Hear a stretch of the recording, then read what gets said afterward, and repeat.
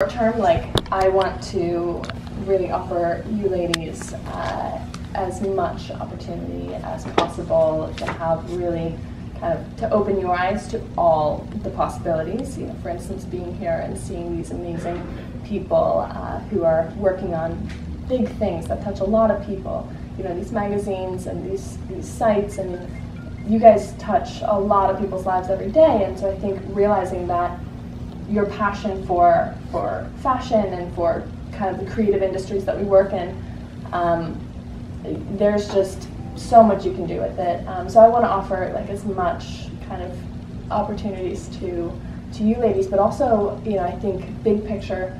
I want to continue to grow it and scale this experience and this learning for as many young women as possible, um, but without losing kind of the uh, high impact experience that we currently have in our classes because it's 25 girls in each class. Uh, last summer, which everyone was in the class last summer. Are you guys taking class again this summer? Yeah. yeah. Mm-hmm. Amazing. Okay, so this summer we have our first ever 2.0 Kode with Klossy uh, curriculum, which is basically more front end, kind of more. Well, you guys will see it firsthand, but it's um, it's kind of more front end focused now that they have the fundamental skills. So I want to keep growing it without uh, losing kind of the special, uh, I don't know, special kind of high impact experience that we have now. And also, you know, I think you guys are you guys are a big part of it. So um, whenever I, we're open to feedback, um, it's really a matter of like,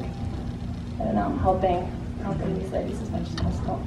And on that note, I'd love to leave the last question open to you guys. Does anyone have a question for Karlie? Don't be shy now. I know. You went to her course. She expects you to be Exactly. fully, fully brave and empowered. All right, right Well, I there. just want to make like a statement. Like, I'm really thankful that you opened this program to us because it's really like you don't really see a lot of celebrities doing so many diverse things and then like sharing it with other people like us. So I just wanted to say thank you, and it's inspiring to see that you did so much with like your career. You didn't just stay to modeling. Like, you're doing coding. I saw you with Bill Nye. Like, you do so much. I know you gotta tell about Bill Nye. By the way. We need to- Maybe we can end on that. Totally. He's hysterical. He's a total nerd. um, but he's like a very suave nerd. Like he's like, uh, he's he's funny uh, and very, and he's a great teacher. He takes these like really complex topics and ideas and really makes them like understandable. And and I think he was one of the first people who I watched on PBS, like Bill Nye, the Science Really? Guy, obviously. Uh, and and he really got me excited about these things. So I think it's like having people that you have access to, that you can relate to, that can, that I don't know, that that can.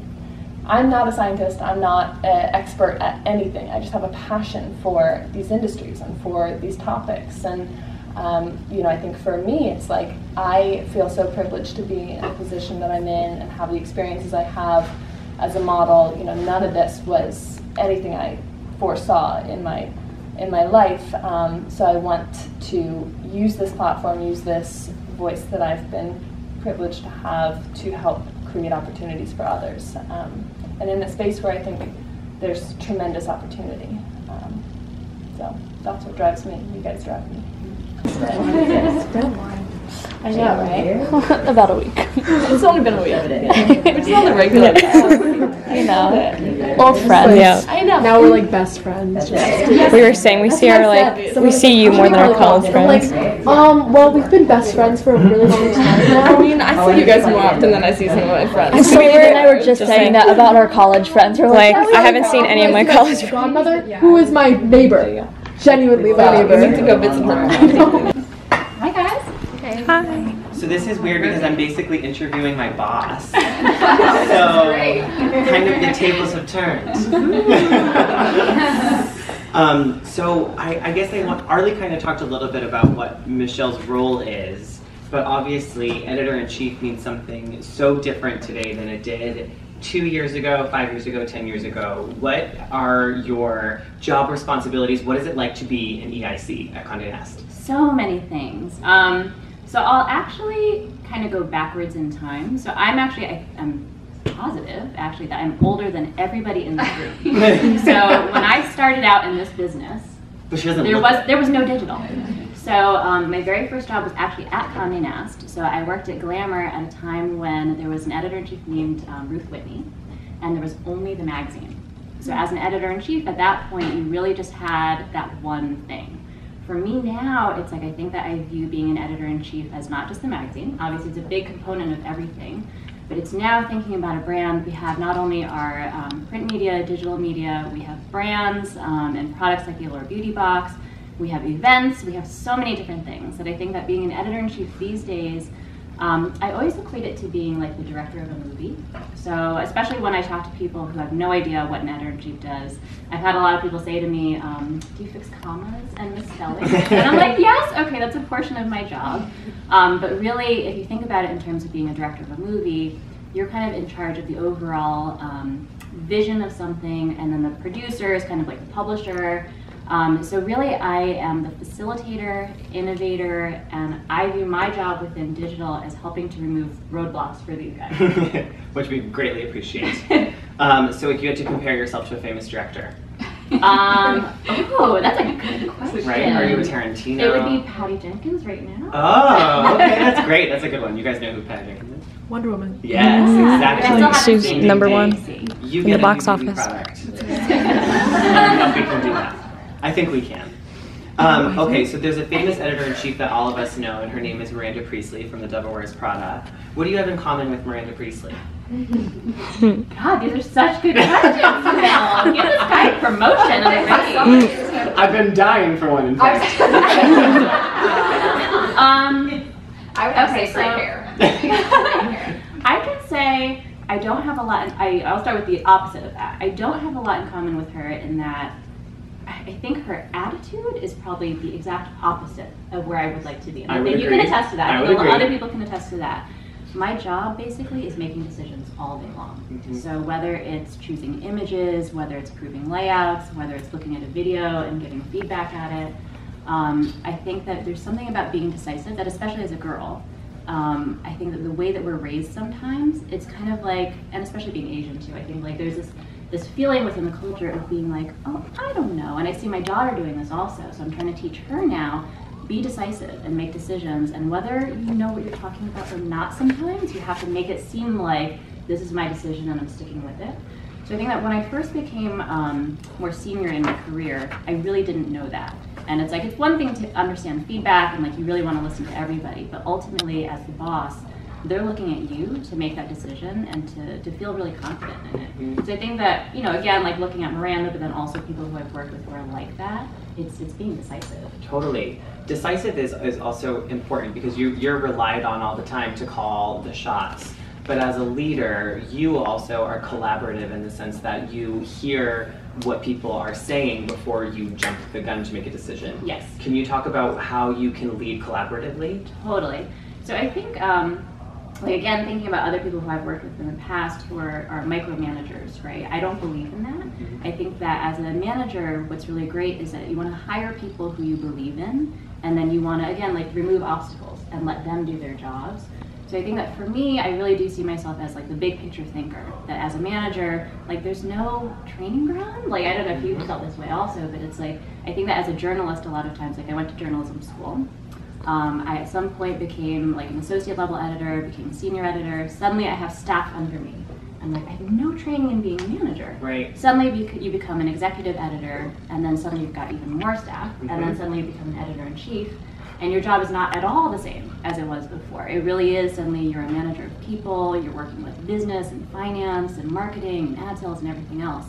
So I think that um, understanding how to manage people is something that a lot of times we kind of learn on the job. Um, what I would stress to all of you guys is the more that you can all learn business and marketing and just organizational and corporate structure, it's so helpful. So I, um, I just started, um, I'm leading the new mentorship program at Condé Nast. So we did a roundtable of all the mentees, and like the number one thing from everybody about what they wanted to get out of the program was really understanding corporate structure. And even here, like our company is so huge that I come over into this building sometimes and I'm like, I don't know what everyone does over here. Right. So I think the more that you guys can learn that, on top of obviously um, learning about technology and science and everything else, I think it's always important, no matter what field you go into, whether or not you're going to be self employed, even, for you to understand business and even just for your own personal finance. No matter what you decide to do in life, I feel like learning the things around those specific things is super helpful also. I mean, like Arlie was talking about the, um, the Allure.com redesign and relaunch. So even though I was not physically the person um, designing the site, which absolutely Brooke would probably kill me, but like I, I feel like the fact that I was able to speak the language of, um, I mean, I don't know if I could have like fully an intellectual conversation with the developers, but like the fact that I could use the language and understand what I was talking about, I feel like makes makes me a stronger editor. And then whatever it is that you do, the fact that you kind of have a basic understanding of all those things is, is super helpful. Right. So you can be involved in STEM with, and you can be a woman in STEM without necessarily having to be the expert coder or, Exactly. or you know, even the person designing the site itself. Right. So when I was younger, my dad worked in computers, and he would come home with these giant books that were all about different computer languages, and he'd have to learn these computer languages. And I was like, that just seems like the most boring thing possible. At some point when I was in high school, I think I turned myself off of science and math. Like I was that girl who was like, I'm creative. I don't care about technology and about. I mean, technology wasn't even a thing in, in those days, but like, you know, I don't care about science and math. I'm going to shut my brain off to those things. But I think that over time, I've actually realized how creative technology is, and that content obviously is, is king. And like, you can't have a great um, successful website without having great content. Um, it's one of the big things of that like we really need to help change in other people. So I mean I think it's great that you guys are all doing that, but what I would urge too is that we need more young women thinking in that way. We turned you into Twiggy for the graphics Me too. Yeah, it's so good. I know. You guys got really nice. The packaging. Yeah, that's, that's a really good box. Yeah, I'm like, it's really Oh, That's a for NYSL. Oh my gosh. Yeah, I'm dying. Partnership with, and one, is it like a? So we, we sometimes partner, um, so it's fully owned by us. Um, this one we actually do partner with YSL. two, four, six. Six. We got a YSL item in there. Do you Sorry. going on, and that this is such a special experience for all of us. So thank you. Hello everyone. So I just realized that as I'm editing this video in Turkey, so that's why I have like a webcam going on. I'm literally just editing. Um, I realized I accidentally deleted a lot of the footage from this day, which made me very sad. But I wanted to just say very quickly, thank you to Karlie for inviting us to this crazy event because I know I know that myself as well as the other Kode with Klossy girls really appreciated hearing um, about women in STEM specifically because after um, these videos were taken, unfortunately I deleted the other ones for some reason, but there was some women in the STEM fields at Condé Nast talking about what they do and like what the life is like. So it was just really inspiring to see them talk about like their struggles as well as like how far they've come since uh, originally working uh, in STEM fields. So thank you to everyone who just made this event possible. But I personally am really inspired by all of the women that were at the event, especially Michelle Lee, because she just kind of talked about her position and like what it was like for her to go from a non-digital world to a digital world, which is something you know um, I kind of grew up with she kind of grew up with more in like the sense when she was like looking for jobs but i kind of grew up with it in my childhood and it was just inspiring just hearing Karlie talk and i love Karlie as you all know so